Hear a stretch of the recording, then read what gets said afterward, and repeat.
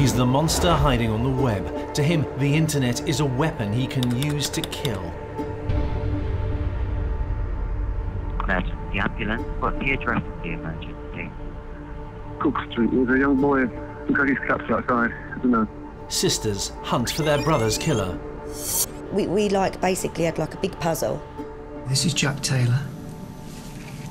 Do you recognise that name? Hmm. And as we were getting more and more information and we were putting it together, we didn't know what the middle bit was. Stephen, did you have any involvement in his death? I did not know, no. We know that somehow all this connected somewhere. And we were determined that unless we got in black and white that we were completely wrong, we, we wanted answers and we, we weren't going to stop with that. Did you kill Jack Taylor? I Did not know. Stephen Port daily spent hours trawling web porn. Why are you searching for boy drugged rape? Port was a predator. He sought out his victims. No, just generally looking uh, for just general porn. He drugged them. He raped them. That's not general porn, Stephen, is it? He murdered them. He's the killer armed with an app. He's ruined our lives. He's ruined our family. He's took our Jack away.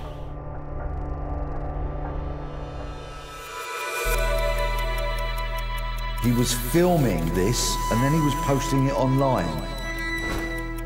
You have DNA evidence, you've corroborated that. That was the first use of social media in a missing case. The number of CCTV cameras continues to grow. Serial killers come in all shapes, all sizes, all professions, and all genders.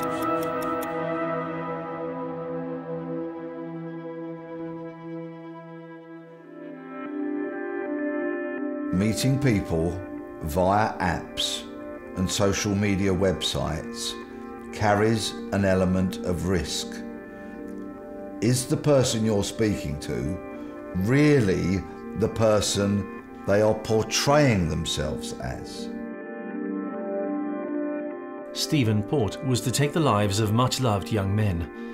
Two sisters of one victim would choose to take on a challenge to prove their brother Jack had not died from a self inflicted overdose as claimed by the police, but had been murdered along with three other men. The detective tools at the disposal of the sisters, the internet and instinct. Instinct because the official version of what had been happening in a secluded corner of Barking didn't make sense to them. We was aware about the other boys that had passed away in Barking um, when obviously Jack had passed away, and we were searching. We was doing our research on the internet, wasn't we? Yeah. And that's when we come across um, other boys that had passed away, and it seemed very similar, didn't it? Just Yeah. everything seemed quite similar. Yeah, there was lot, lots of um, when, when we went back on the internet, we, we was trying to find out because we don't really know barking, so we was trying to find out like um, if there was anything else that had happened around that area, um, anything similar. To help in their work, the go to research tool, the web. Traditionally, you think of everyone sitting there being Little Miss Marple with the internet, using their little grey cells like Hercule Poirot or something. But actually, the level of forensic evidence that you can extract from the web, the degree to which you can look at someone's online profiles, and the digital footprints that people leave behind them almost unknowingly these days, is absolutely crucial in catching killers. After researching events and becoming skeptical about police conclusions, a local journalist who gradually became convinced that an area of London had a serial killer on the loose. It was odd for there to be that number of, of young men found dead within a few kind of hundred square yards of each other. It still seemed strange to us, and so I started saying to the news desk, um, we need to find out what's, what's going on. What was going on involved a man called Stephen Port. Port one day would be interviewed in relation to bodies discovered near or slumped against a wall in this churchyard. In particular, the area around um, the walls of the Abbey. Have you ever had any reason to go into that area? No. A new specialist branch of psychology has been generated as experts try to understand online behaviour. One woman has been investigating the off and online worlds of Stephen Port, an East London man whose life began like so many others. He's a, a vulnerable uh, child. He looks very normal as a child with probably normal behaviours, um, although we don't know that. He had aspirations to uh, study art.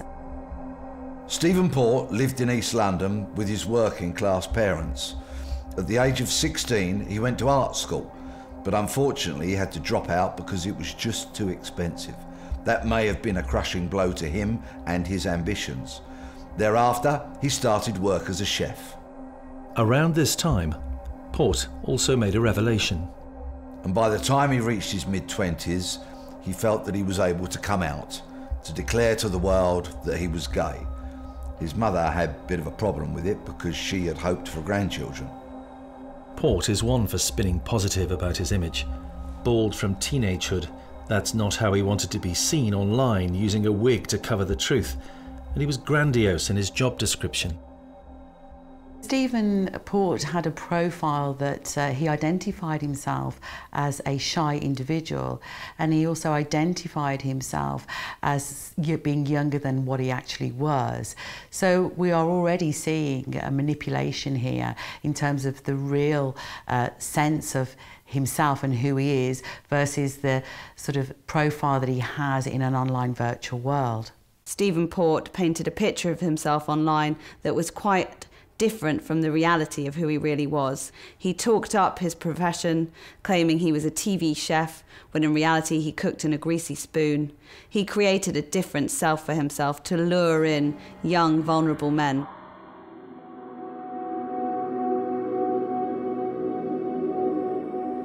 Young, vulnerable men like Anthony Walgate who had high hopes when he left his home in Hull for London.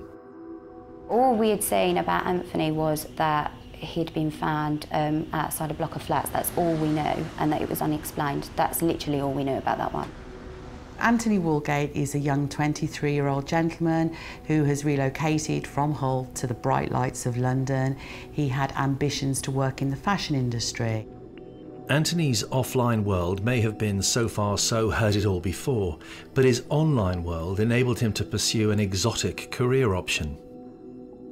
He uh, was a part-time escort and his friends said that he was quite choosy about who he engaged with within those kind of environments. There is a problem, however, in an online environment whereby something called the disinhibition effect kicks in and you not necessarily are dealing with the real person. When you're meeting people in an online computer mediated communication environment, you are not seeing the face-to-face normative social interactions, it would be quite difficult to understand and to be able to tell if someone is not being fully truthful. Stephen Port was never fully truthful. On June the 15th, 2014, Stephen Port approaches Anthony via a online website called Sleepy Boys and arranges to meet with him. He offered Walgate £800 to come over. He makes a reference to one of his friends that this is where I'm going um, in case I'm killed kind of thing, this is where I'm going to be. It was a nervous joke. If Anthony had known that Port had already sexually assaulted a string of men, too afraid to report their experiences because of the stigma they felt would accompany the revelation that they had been raped, it's a joke he may not have cracked. He was entering a dangerous world, a world where a predator had already used the internet to trap a victim, and then drugs to render him defenseless. he enticed a man to his flat. He offered him a glass of red wine, which the man drank. He later remembered that it tasted bitter. The man became unconscious. That man survived, but Port was using his flat to practice his modus operandi. Once he got his own flat, he really started to indulge himself in all the things that he hadn't done previously. He was very promiscuous. He had multiple partners. He had parties, a lot of people stayed over. By now, Port had become a habitual user of GHB, usually dissolved. Once drunk, the compound reacts in the body. GHB is a recreational drug, often referred to as G. It has been around for some time, but by 2014 it really is being used amongst a particular group of people in particular, um, that's with the homosexual community, tend to use this drug recreationally to enhance their um, sexual activity. It is a very dangerous drug in that there is a very small dose that is needed to actually become toxic and for somebody and to cause great harm. Port was inspired by what he found on the web.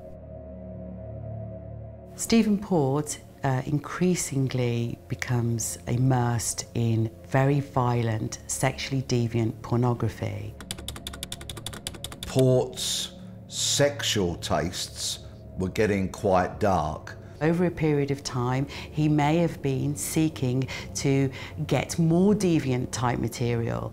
And this is where this desensitization kicks in. And this is this may be the case that people within those kind of environments may then take that to an offline environment so that they are satisfying their need for this sexually deviant sort of thrill that they're seeking and that they're getting from pornography.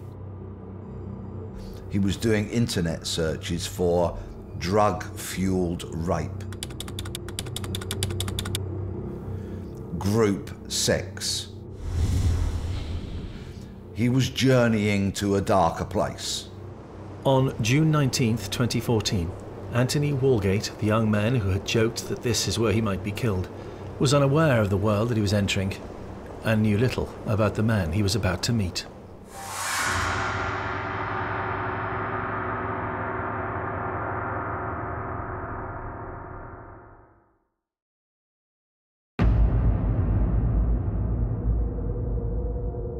Anthony Walgate, fashion student, male escort, met with Stephen Port on a June evening in 2014. Spiked him or convinced him to take uh, a fatal dose of GHB, had sex with him, he'd become unconscious and, and died. Um, whether Port knew he was dead or thought he'd wake up, I'm not sure. The next thing, his body was found propped up in the communal area of Port's flats with his shirt pulled up over his midriff. Port had the audacity to make the 999 call reporting Walgate's body. Emergency ambulance. What's the address of the emergency? Cooke Street. There's a young boy who got his caps outside. I don't know. At this point, Stephen Port will be in a fight or flight scenario whereby he will have to manipulate the scenario for his own survival so that he can remain free and not be detected. It looks like he's collapsed or had a seizure or something. Just always just drunk. What this tells us is that this individual may have psychopathic tendencies um, whereby he is narcissistically uh, looking out for himself, albeit something horrendous has happened. So clearly we see a manipulator here, someone who is prepared to go to great lengths to ensure that they are not found. Later that morning, the police arrived to question the man who had telephoned 999. Apparently asleep in his flat just a few feet away from where the body had been found, a drowsy Stephen Port confirms that he made the call, but knew nothing about Anthony Walgate. The police came. Port spun them a complete yarn about how he'd just found the body, and for the time being, he got away with it. Some evidence was uncovered of wrongdoing. On June 26th, seven days after the discovery of the body of Anthony Walgate, police seized the phone records which showed Port had been lying. He had invited Anthony over after they'd met on a website. Port changed his story, telling officers that Anthony Walgate had accidentally overdosed on GHB, and Walgate's blood samples confirmed levels of GHB associated with fatal overdoses. The police thought they'd got to the truth of Anthony Walgate's death, They thought it was an accident. Critics would later say that if it was a 23 year old woman, they might have done more. But it was a 23 year old gay man who had been using sex drugs. No murder here. Move on. For one local journalist, the story he was covering was all too close to home. I, I'm a gay man who lives in East London. You know, I like to think that if somebody, you know, put loads of drugs into me, raped me and left me in a churchyard to die, that the police would investigate that. You do wonder if they'd turned up and they'd been wealthier or older or different ages or, you know, young women, would the police have been so quick to sort of switch off the investigation? It feels like there was a negligence towards the gay community there that, you know, this could have been any of us, but because, you know, this could have been me. Police had made a crucial mistake, missing the opportunity to examine the laptop that they had earlier taken from Stephen Port. Search terms that Port had used earlier the previous day incriminated him. Internet history showing a disturbing sexual fetish for young comatose men was revealed. It was a mistake that would cost more lives of young men. Stephen Port was charged with perverting the course of justice by having made the 999 call and denying that he had known Anthony Walgate. Released on bail, Port returned to his online world. That they had looked at his computer and everything else that they, we we now know that they had everything. It wouldn't just be Jack's life that was saved. Bordered by a ruined abbey, the Church of St. Margaret of Antioch is one of the few parts of Barking that wasn't bombed during the Blitz. Not that Gabriel Kovari, a Slovakian student who had come to London just a few months earlier, knew any of that when he left home for a city he thought liberal in attitudes about sexuality. In Slovakia, Gabriel had met prejudice. He was gay. Uh, he wanted to be in an atmosphere that celebrated and embraced that.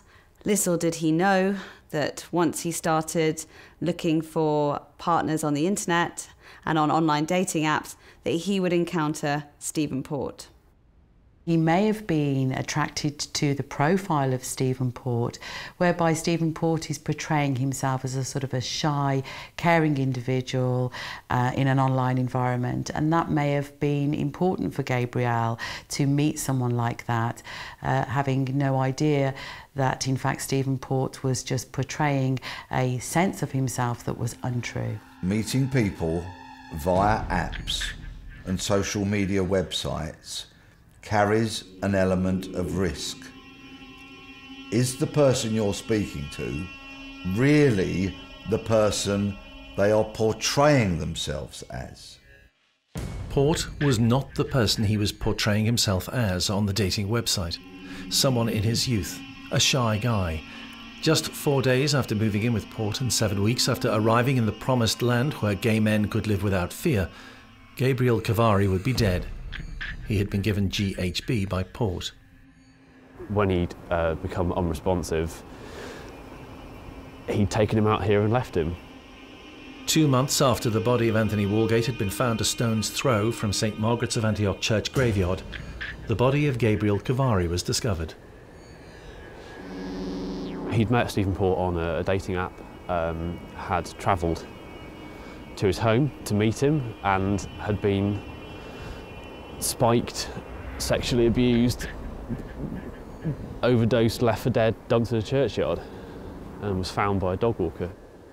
Gabriel's murder was a quintessential 21st century crime.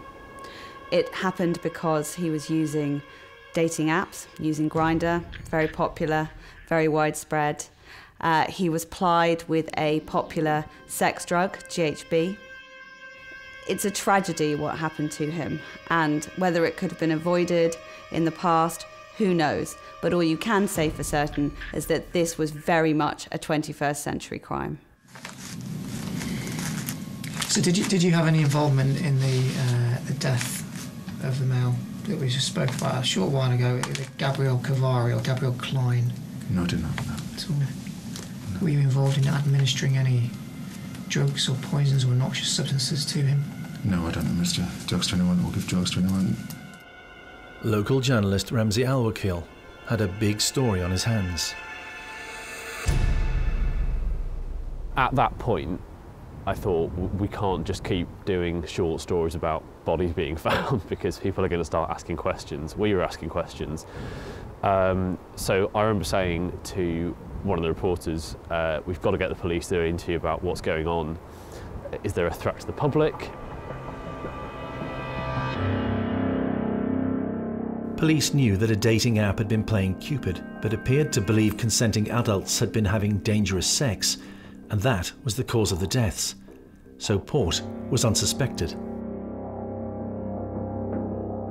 Daniel Whitworth, a 21 year old ambitious chef, lived in the English county of Kent with his long term boyfriend. When apart, they tried to stay in touch. On the 18th of September 2014, Daniel arranged to meet Stephen Port in Barking. Unfortunately, these victims did not know what they were getting themselves into. They weren't meeting a person face to face and making a judgment call about that person. They were just going by the app. They wanted free and easy sex. Fine, but it came at a very high price.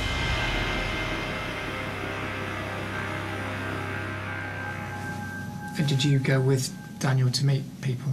No, no he's, I knew he was doing the same as I was, but I've, but I've seen him at that party and with, there's a brief conversation with him about it, but I've never actually engaged with him outside of uh, the place.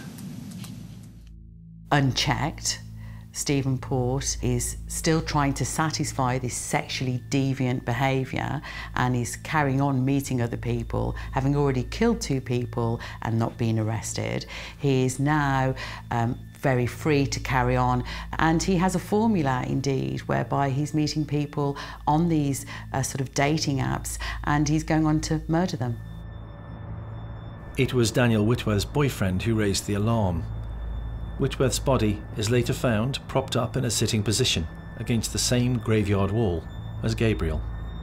Daniel Whitworth is 21. He spent some time homeless. He's described by friends as having faced down his demons.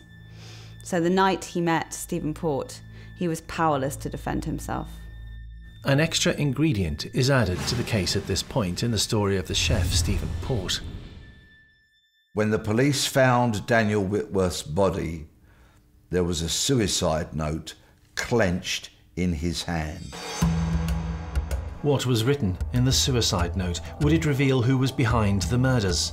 The Taylor sisters believe its contents should have made police deeply suspicious of events, but they weren't. So others were still at risk from Stephen Port.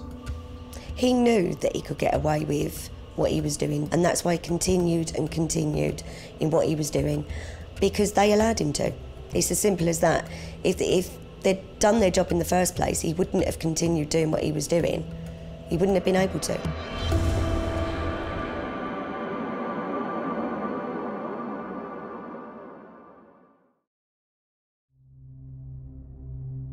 The suicide note found on the body of Daniel Whitworth seemed to implicate him in the death of Gabriel Kovari four weeks earlier, so suggesting there had indeed been a crime.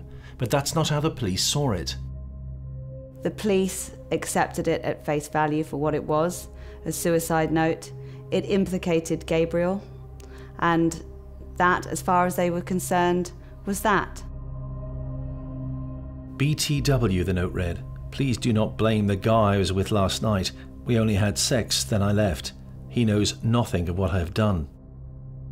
Stephen is really showing how manipulative he is by referring to the fact that um, not to blame the person who Daniel was with the previous evening. So not only is he manipulating the victim's family um, by faking a suicide note, he's also then trying to make sure he covers his own ground and make sure that he has no blame um, for the murder of Daniel. The note continued I have taken what GI have left with sleeping pills, so if it does kill me, it's what I deserve. It's simple, childish, almost so obvious, and yet somehow, hiding in plain sight, he managed to continue to go undetected.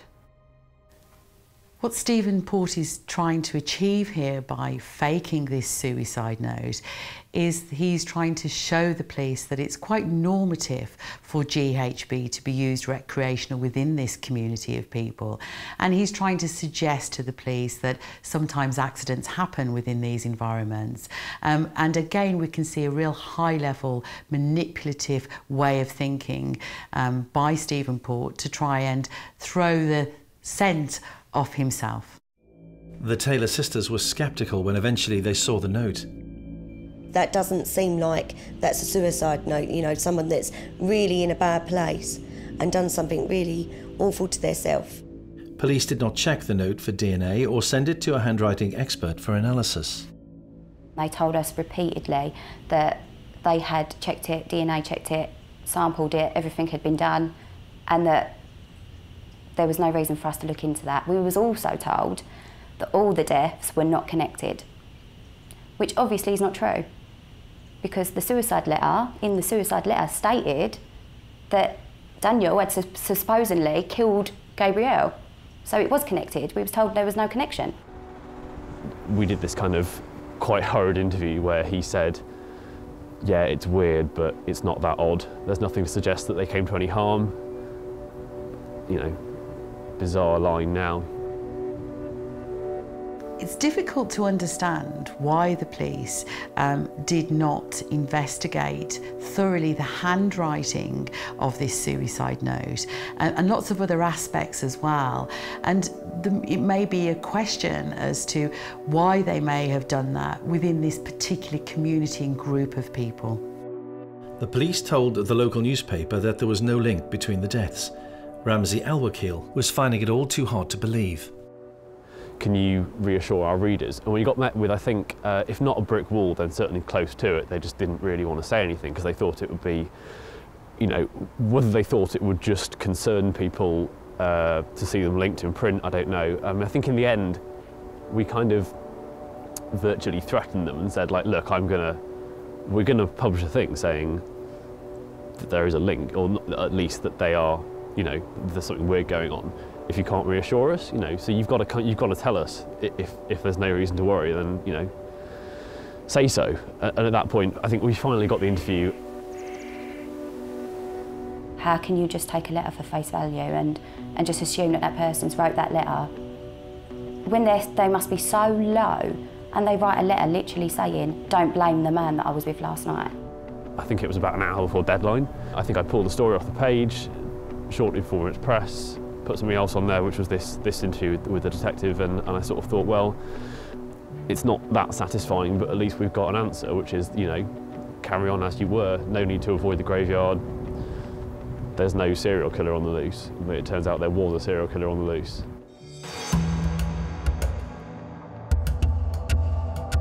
In March 2015, six months after Daniel Whitworth had died, Stephen Port was convicted for perverting the course of justice in connection with the death of Anthony Walgate, and he was jailed. He had lied when claiming on his 999 call that he had not been with Anthony earlier on the night that the young man had died. Port was released after three months, so was free to kill again. In September 2015, Port had returned to his old habits meeting gay men via a dating app. The local media was, for now, accepting of the police assertion that the deaths were not criminal. This was an extremely dangerous time to be a gay man in East London. Bodies were turning up and being dismissed as overdoses. They were gay young men who'd overdosed on the same drug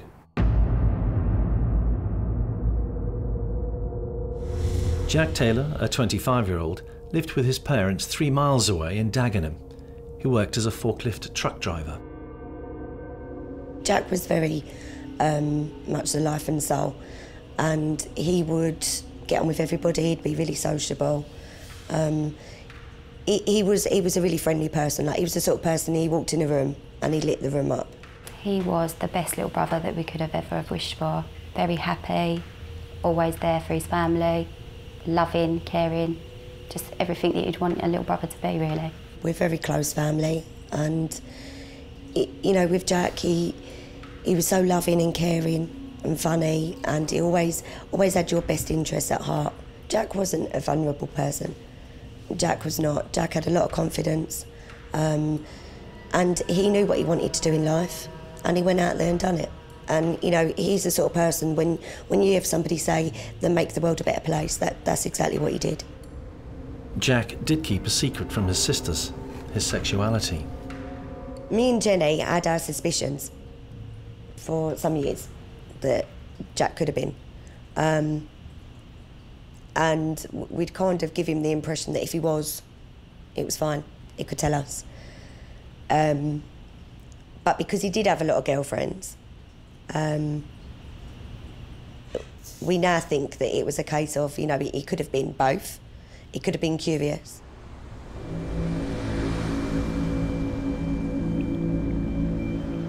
Jack Taylor was a regular at the Trades Hall Club in Dagenham, where he'd spent the Saturday of the evening of September the 12th. At 10.30, he's seen arriving at the hall, and at 12.30 he leaves.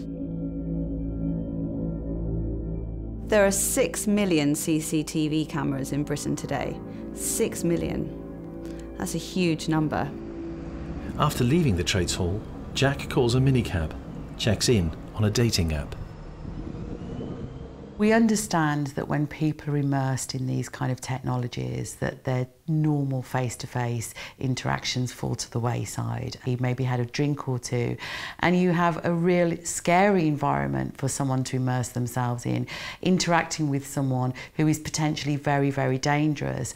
And because his inhibitions were lowered at this point, he may not have realised the danger and or he may not have put the usual sense check that somebody would when encountering somebody new who they don't know, a stranger in an online dating environment.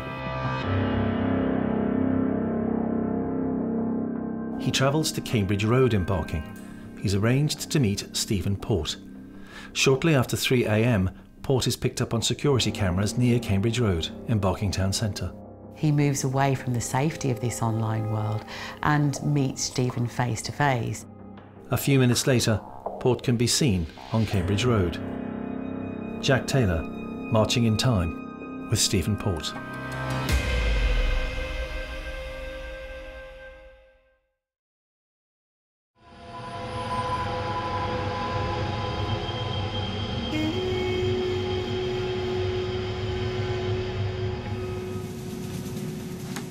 If I show um, you a picture. We'll call this CRT. See, this is Jack Taylor. Do you recognise that mate? Jack Taylor filmed with Stephen Port. It now seems certain that Jack was out of his depth, uncertain what he was doing there, uncertain about his sexuality. Four hours after the meeting on Cambridge Road, Stephen Port blocked his own Grindr account, wiping out all communication. He deletes his account, and this really just highlights this manipulative uh, behaviour of Port in terms of making sure he is safe and he's evading being caught so he can carry on doing what he's done before. And we're seeing a pattern here whereby he's meeting people on these um, websites, these dating apps. He's then going on with a fake profile and he's then deleting those accounts. So he has quite a tried and tested method uh, for his victims at this point in time. Port thought that what he was doing was never going to be detected. Every keystroke leaves a trace.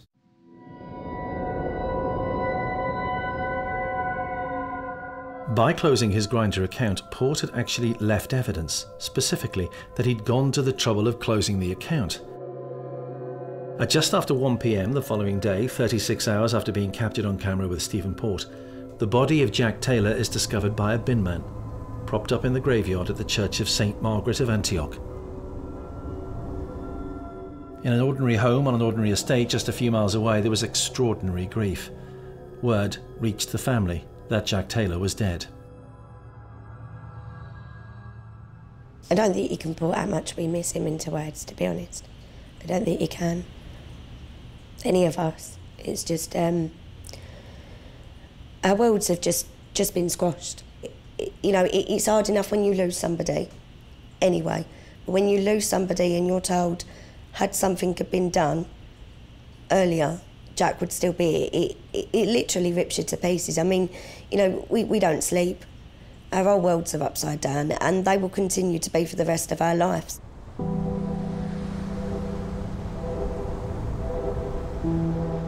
September 2015, 16 months after the discovery of the first body in the vicinity of the graveyard at St Margaret's, the bodies of three other men had been found propped against a wall in the same graveyard. Autopsies would establish that all three had levels of GHB consistent with an overdose, the last being Jack Taylor, whose family were confused. We were so upset the fact of where Jack was found. It was it was just awful. And when they actually said, "But you've got to understand, this is somewhere where people come and do drugs. This is also a gay meet." You know, it, they they gave us the impression that this is normal. It's not normal. That that that was our Jack that was sitting there. It's not normal.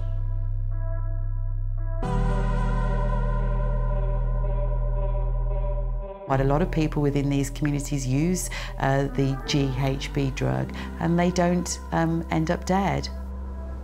For Ramzy Alwakeel, the link was now too obvious. Alarm bells were ringing. When you think that there was so much linking these deaths to each other and to Stephen Port, you have to think how smoking does a gun have to be? Jack Taylor's family now believe that he'd been murdered. Jack Taylor's sisters were not satisfied with the verdict given to them by the police that their brother had taken his own life. They started looking online, they started doing their own research. They became 21st century citizen detectives. They started to notice some similarities between the death of Jack Taylor and that of three other young men who had died in a quiet corner of East London people would have relied on sort of authorities to research various aspects. Um, and nowadays they're able to do that in an online environment because there is so much data available. And that's when we started to get a little bit suspicious. Not suspicious with Jack's death, because we was already suspicious, which is why we were doing what we were doing. Suspicious the fact that there could be a link here. That's when we started to think that there was so much more to it. You just get a gut feeling and you've got to go with your gut. The police found evidence of GHB on Jack Taylor, maintaining this was a simple overdose. His sisters refused to believe it. We asked the police um, about the syringe that was found on Jack and it wasn't used. So you're telling us it wasn't used, but you're also telling us that he just sat there and injected himself and, and done an overdose. Stephen Port was still a free man. He was not a suspect in any crime. Four men had died but the police did not believe there had been a criminal offence. What would it take to capture a serial killer when the police did not believe there was a serial killer? The Taylors now began to play a big part in the story of Stephen Port. Our family is our life, and we will do anything for our family, and we will do anything for Jack, and we will continue the fight until we get the right justice. It just, it, we just was never going to stop, was we? Mm. It was just a fight that we was going to continue. And it, at the time, it felt like we was fighting, and we didn't we didn't know what we was trying to get to. We knew that we needed to find out what had happened to Jack, but we didn't know what. So we just we knew we had to get the answer, the right answer for Jack, and the right answer for Mum and Dad. The police had concluded that a drugs overdose was responsible in the case of the death of four men found in similar circumstances in or near this graveyard. It was bereaved relatives trawling the internet for evidence who forced the police's hand to go further. The Taylor sisters believed their brother had been murdered along with the other three men. We just needed the proof and we was not going to stop until we got the proof, the absolute proof. You never want to be right. You know, you had that feeling when we spoke about this quite often. Um, we didn't want to be right, but we knew we was going to be because we knew Jack we felt like we was doing their job and we should never ever have been put in that situation we was trying to pick up mum and dad pick them up they was on the ground they was totally devastated we was devastated we, we should have been well, we shouldn't have been grieving because we should never have been put in that situation but we should have been grieving we shouldn't have been doing their job It was the case of Daniel Whitworth which gave the sisters hope that the police would re examine the evidence. something in the note simply didn't ring true.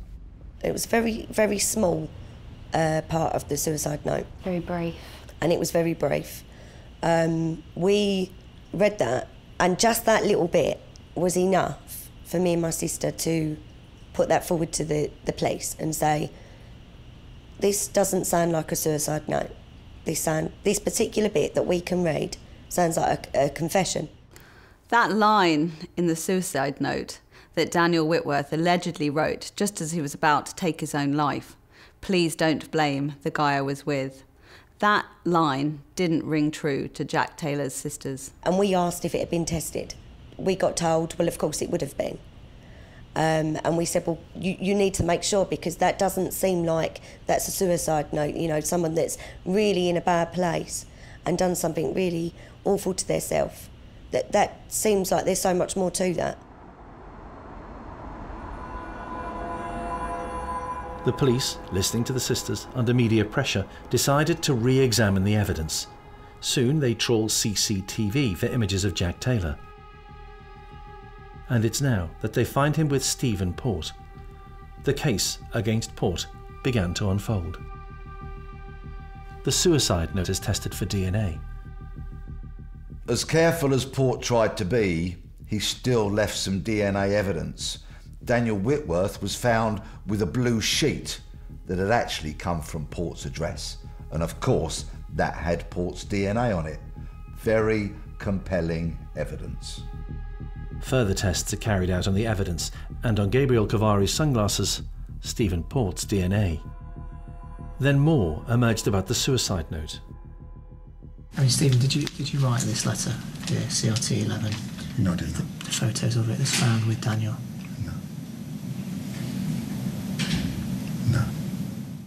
A handwriting expert examined the suicide note that had been found in Daniel Whitworth's hand. He compared it to samples of writing done by Port, and guess what? Port wrote that suicide note. Are you telling us the truth, Stephen? I'm telling you the truth, yes. About the letter? Yes.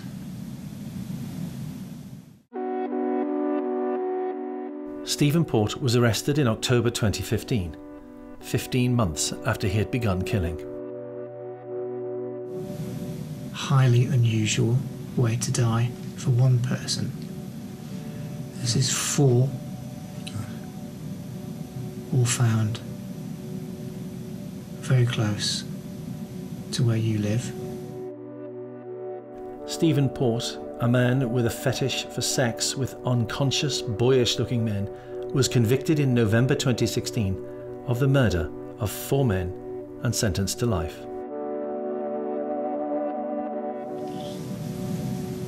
All found dead. Stephen? Yeah, I understand, but. Close to your house. One of them had been in your house either just before at the time when he died and was found to have large quantities of a drug in his system. Port was a predator. He sought out his victims. All men, young men, type of men that you say that you find attractive. He drugged them, he raped them. All now dead, Stephen. He murdered them he was a psychopath. He was a complete psychopath who it, it didn't stop him. It, it didn't stop him. It, it, doesn't even seem like it was a compulsion. He was he was almost doing it recreationally. The, the whole thing is just completely incomprehensible to me. It is extraordinary that this gentleman, Stephen Port, was allowed and able to carry on um, murdering uh, other people and you know, contacting other victims and covering his own tracks. It's extraordinary and heartbreaking that there was not some intervention sooner which would have saved people's lives. Time when Jack Taylor is either dead or dying, you're searching for uh, boy drugged rape, etc. Port was very much a 21st century murderer. He found his victims through apps and on social media websites. In fact, Port created a false identity for himself on such a website. Stephen, did you have any involvement in his death? I did not know, no. Did you kill Jack Taylor? I did not know.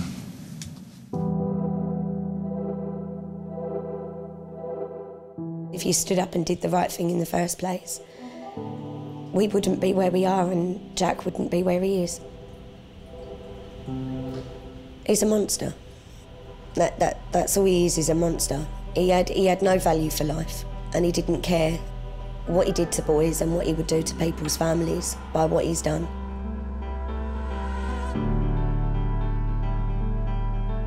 hundred percent. He didn't care what he was doing. He didn't care if they lived or died.